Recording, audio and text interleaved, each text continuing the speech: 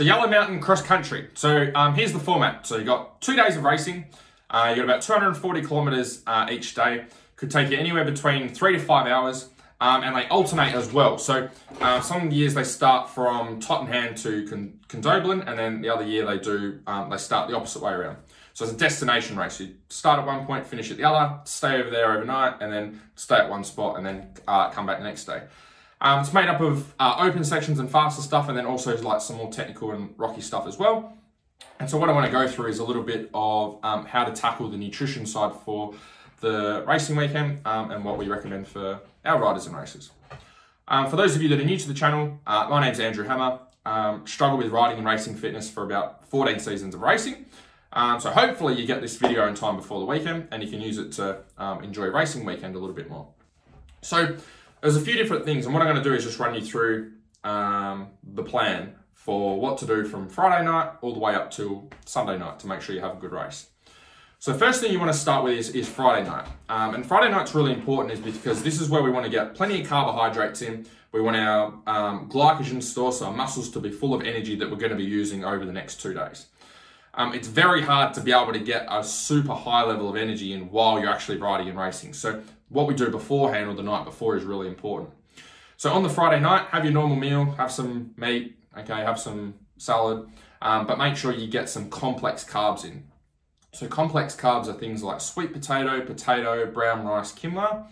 Um, easy ones, just mashed potato. Okay, you can go to um, Coles or Woolworths and buy the steam fresh bags of mashed potato, and you can put them in the microwave or heat them up or whatever facilities you've got there, um, and have that with your normal food.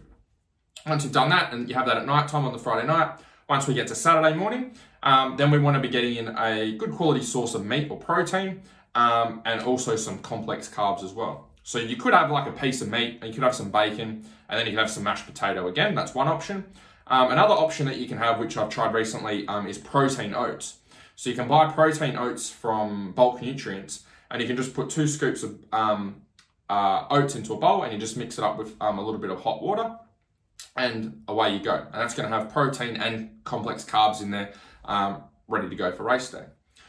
Main thing with that breakfast though is you want to make sure you're having it about three to four hours before you start the race. Okay, so if you're having this breakfast too close to the race, you're going to feel like shit because it's just going to sit here. Um, complex carbs take a while to digest and break down and uses energy. So if you're getting them in way too close to the race, okay, like an hour before, they're just going to sit here and you're not going to feel very good when you ride and it's going to ruin most of your ride.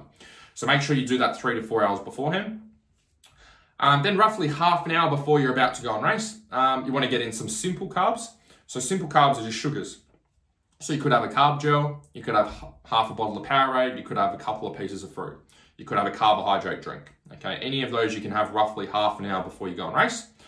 Um, and they're really easy to digest. Okay, sugars are really easy for your body to digest and break down, so they're not going to sit here, and we're not having super large quantities either.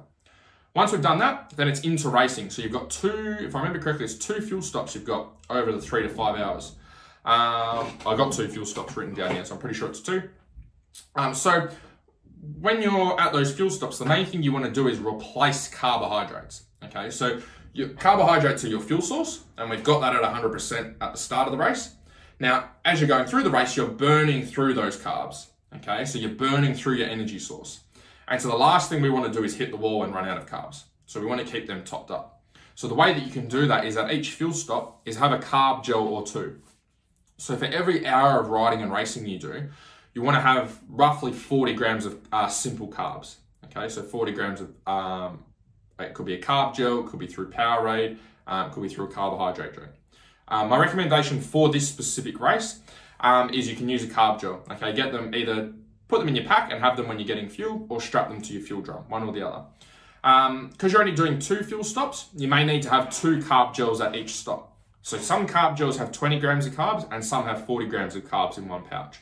If you've got a 40 gram pouch, then you can probably just have one of those at each fuel stop. Um, or uh, if you've got the 20 gram ones, then you might need to be able to get two in at each stop. So that's how to do the fuel. Once we've done that and you finish the race, First thing you want to do once you finish the race is we need to start the recovery process for Sunday. Um, this is not the time for, well, it depends on how you how well you want to do with the event, but if you want to do well on day two, it's not the time for partying and relaxing and having a good time on Saturday night because you need to start the recovery process and start getting ready for Sunday. So how do you do that? As soon as you finish your race, is get in a protein shake, preferably whey protein. And what this is going to do is give your body the nutrients it needs to start rebuilding itself. So protein is the building block for our muscle. And when you've been riding for so long, you're breaking down muscle. Okay, so what we want to do is give it the building blocks to help it rebuild and repair itself so that we're ready to go for the next day on Sunday. So first thing is protein shake. Once we've done that and your body's settled down and you're not as, your body's not as stressed and wound up and it starts to relax and you get your appetite back, then we want to have a really solid um, dinner. Okay, so again, protein, veggies, um, and then again, complex carbs like we did on Friday night. Sweet potato, potato, brown rice, quinoa. Okay, easy one again is get mashed potato. Okay, get them in the little steam fresh bags and away you go. Good quality sleep on Saturday night, and then we want to repeat this same process that we used for Sunday. So we get up Sunday morning, okay, we have our um, either protein oats or we can have um, our meat with some mashed potato again, three to four hours before we race. Half an hour before you race, you want to have your carb gel with either, you can have a carb gel, you can have half a bottle of Powerade, a couple of pieces of fruit, carb drink, whatever it is that you use. Um, then we want to do the same, same thing when we go and race, okay, when we do the fuel stops. We want to make sure we're getting in roughly 40 grams of carbs for every hour of riding. So it's to it's to depend on how many carbs you're burning through and also how much you can tolerate. So getting 40 grams of carbs in at a fuel stop uh, might be easy enough for you. Maybe you can get in a little bit more and have a, a 40 gram carb gel and a 20 gram carb gel. Or maybe you find that taking in that much carbs or that much sugar is just too much for you. So, um, although this is my recommendation for the weekend, you really want to be testing this stuff out um, beforehand to see how you feel. Once you've done your couple of fuel stops and you've got your carbs in, um, then again, you want to start the recovery process at the end of Sunday. Now, at the end of a race, mate, recovery is not usually the um, the number one thing that you're thinking about because you're going, uh, thank God that's over, and probably having a beer or you know having fun with your mates, which is fair enough. Um, but if you want to start the recovery process so that you can get back into training and um, and be ready to rock and roll for Monday or maybe even Tuesday, um, then again get the protein shaking, get a good quality uh, meal in at night time, get plenty of complex carbs in so you can start getting ready for the next race.